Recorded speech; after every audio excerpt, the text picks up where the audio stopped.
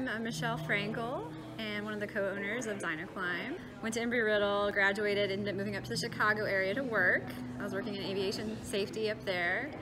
We don't have a whole lot of height for super tall climbs. We're mostly focused on bouldering. We have top rope and auto belays as well. We definitely welcome you to come out. We'll give you the full intro from you know trying out climbing shoes if you want to try those on to getting your harness fit, getting you clipped in, what a carabiner is, what top roping is. We'll explain everything to you.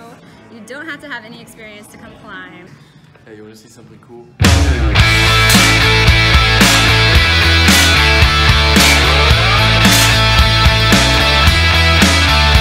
She's cold and she's cruel, but she knows what she's doing. Pushed me in the pool at our last school reunion.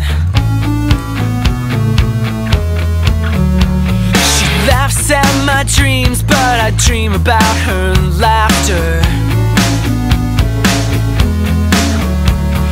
Strange as it seems, she's the one I'm after. Cause she's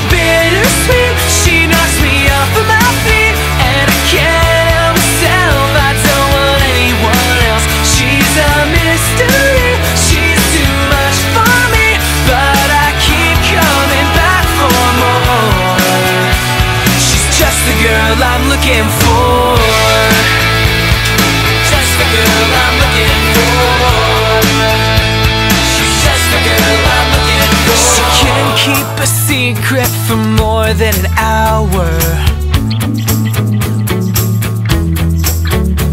She runs on 100 proof attitude power. And the more she ignores me, the more I adore her. What can I do? I'd do anything for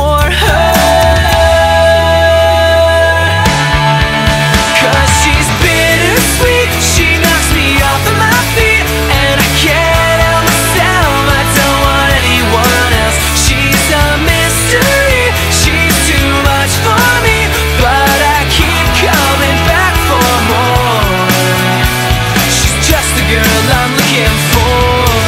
But when she sees it's me On her caller ID She won't pick up the phone She'd rather be alone. But I can't give up just yet Cause every word she's ever said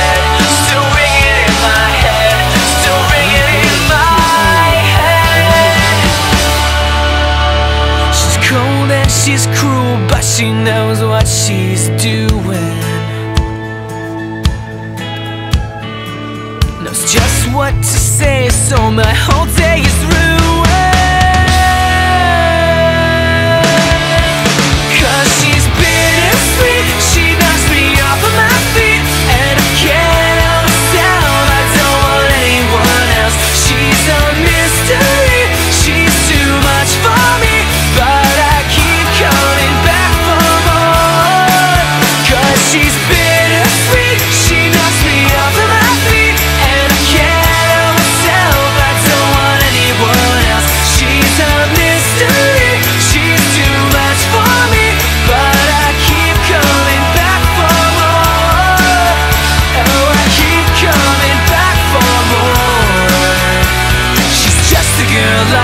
Just the girl I'm looking for.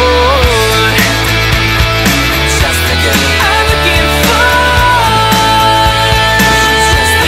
I'm looking for. Just the girl I'm looking for. Just the girl I'm looking for.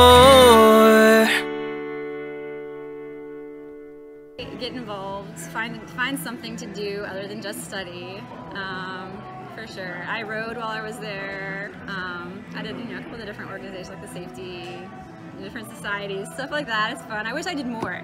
That's my only thing. Looking back on it, like gosh, I wish I kind of did more. Once you graduate, it really is a well-known, recognized name in the industry, and even owning a rock climbing gym, it's it's helped me out tremendously. Like the connections I've made, the people I've met, and and everything just through Embry Riddle has been awesome. So definitely just stick with it.